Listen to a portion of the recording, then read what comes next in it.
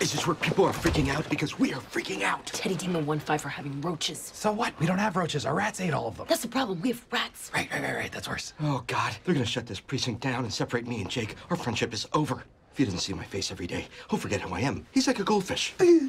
This is all your fault. You just had to sleep with Teddy, didn't you? You couldn't keep it in your pants. Come on, Charles. He's right, Santiago. Your libido has endangered us all. Excuse me, guys, coming in. Wait, Gina, you sure you can fit in? I'm sorry, because of my injury, I can no longer fit in. No, I meant physically. I'll have you know, I am physically as strong as I've ever been. Stronger, even. I'm Gina Linetti, and I can do anything, okay? Excuse me, please. Excuse me. Oh, oh yeah, this is too crowded. Shouldn't have wasted my speech on this moment.